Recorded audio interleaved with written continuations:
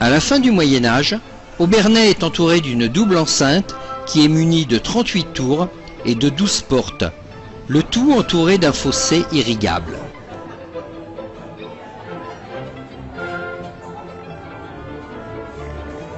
Aubernais est une cité médiévale, berceau légendaire de Sainte-Odile.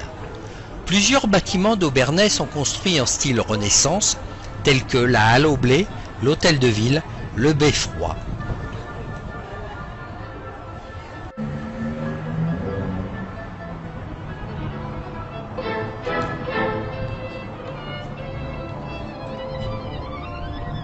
Vers 1280, les bourgeois de la ville érigent une chapelle dédiée à la Vierge et dont le clocher sert de beffroi, le Capelle Turme.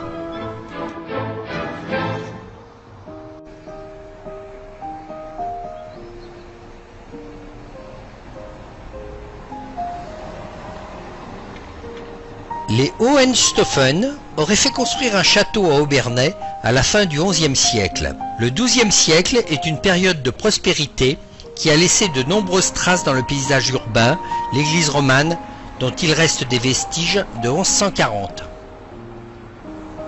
Au fait, tu ne m'avais pas dit que Aubernais était la capitale de quelque chose?